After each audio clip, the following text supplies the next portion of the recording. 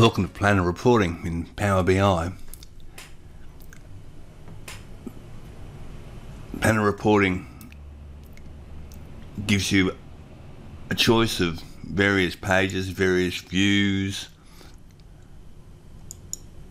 between tasks and groups, buckets, various planner things. You've got the the user Gantt, the decomposition. Notice there's there's a filter over here, and we'll show you how to use that in a second. But we'll just um, get into this, um, and and here we can expand tasks. Now, you can also do things, and let's do it. Let's do it right here. Let's um, let's create a bookmark, and we'll create a personal bookmark, and we'll call it um, Lydia Decomp. If I can spell it.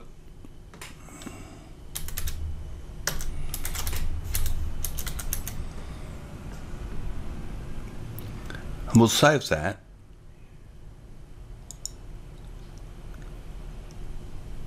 Notice you've got some options there. You can make it the default. You can um, you can update it. So, but let's. Um, this is not a, a global filter, but we can actually do a filter across everything. So let, let's go to the person page, which is a interesting place, and we'll, and we'll take our our top team here, and um, and we'll just select them.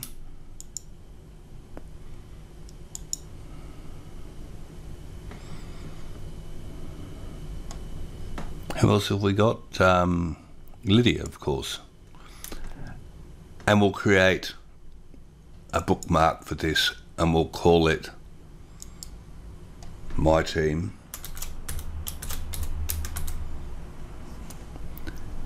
And we'll make it the default view as well.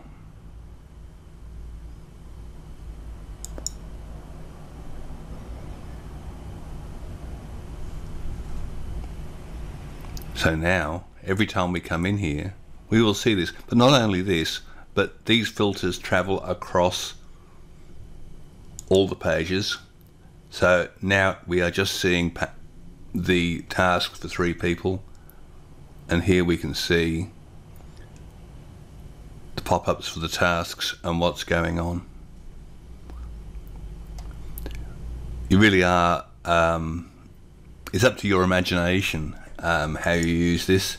Um, and he here is the hierarchy, which is not linked. Um, oh, sorry, this list is linked, but this is not a true filter. So um, this filters what is available. So um, we need to. Um, there is a filter page. Let's just clear our filters off. There we go, all filters cleared. Um, and this gives you date filtering, so you, you can layer the two types of filters as well. Um, so you can start with a, a due this week filter. And we see we've got five tasks due this week. Um, and then go into the, the hierarchy um, Actually, that's that's perhaps not a good one to do. Let's go into the um, the task hierarchy, which um, which has the five tasks that are due this week, and um, and we can use those, um, and we can see who the people are who are impacted, and we can view. Well, there's not a lot of detail on those tasks, but never mind. Um, so that's about it. This this is book bookmarks are the way to go, um, and let's make a a this week.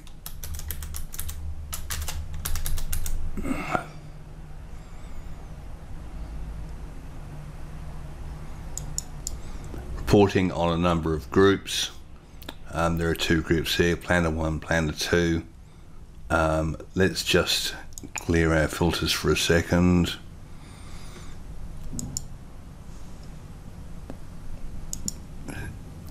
Right, two groups, three plans, um, various buckets. It does attempt to um, normalize um, things like categories and buckets. It does help if they're all in tune with each other across plans. They don't have to be. Um, and you've got the buckets, um, and that's about it. You know, you've um, in the app, there's actually a, a link to Planner itself. Um, this is all uh, refreshed on the schedule. You can refresh um, on on your own schedule. So there's a dashboard which is not a lot on it. This is on the dummy data, which which you will see if you download this report. So um, that's planner reporting for Power BI. Thanks for listening. Get the latest news at the Planner Reporting website, which should have everything that you need to use this solution.